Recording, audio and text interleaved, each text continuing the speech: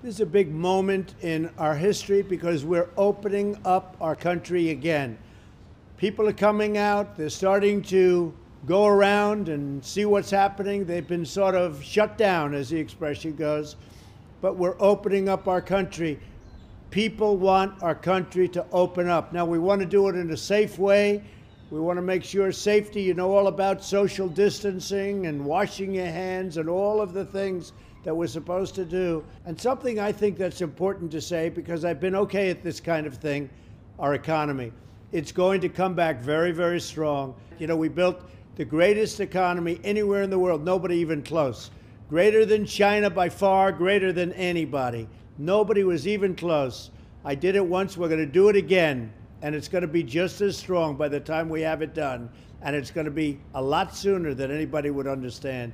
We're going to have an incredible next year, and I look forward to it.